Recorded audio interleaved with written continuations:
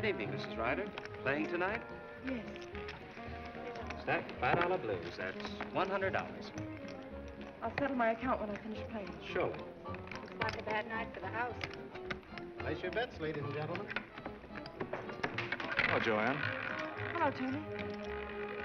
You're late tonight, aren't you? Am I? All down, please. Nine, Red. Number nine. Sorry. Get your bets about a down, little ladies supper? and gentlemen, please. No, I'm sorry. All down, please. Tony, you're wasting precious moments. I came here to lose a man, not to find one. All down, please. No. Number 12, Red. Number twelve. Sorry.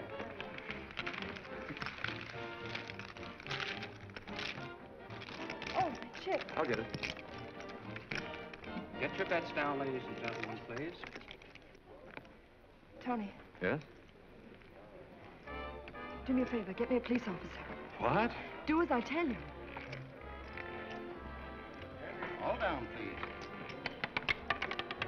28. Black.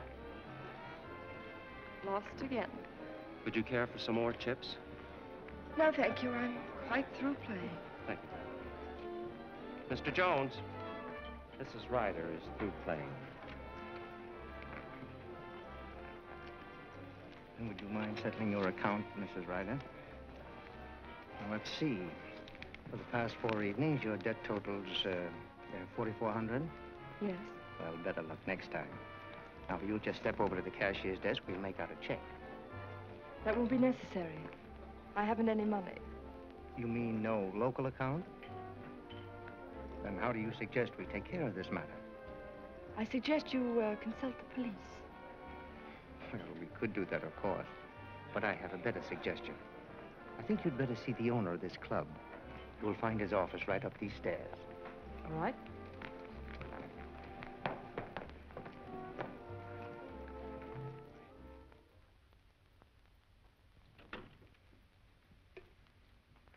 I was told I'd find the owner of this establishment here. I'm Mrs. You may Ryder. go in. The boss is expecting you.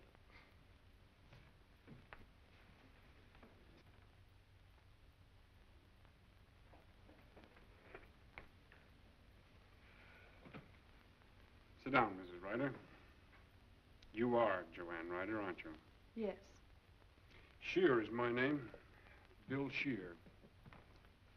I said sit down.